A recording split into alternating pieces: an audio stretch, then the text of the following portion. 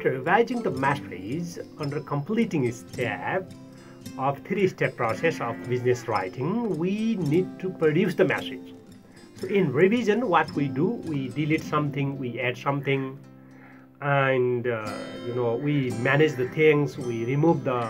unnecessary uh, information. So after this, what we do is we produce the message.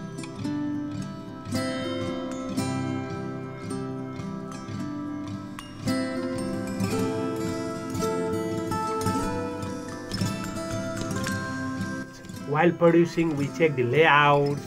bullets, and organization of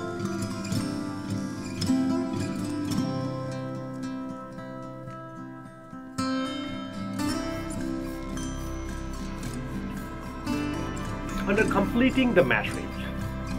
after revising the message, we have to produce it by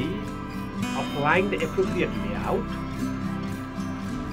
design elements suitable layout for clean professional appearance. So we mainly, while producing our revised message, we check the outlook and the layout, layout related informations, the margin, the space, uh, the you know gap uh, font size etc we check those things under this produce the matrix so in this step we actually produce the matrix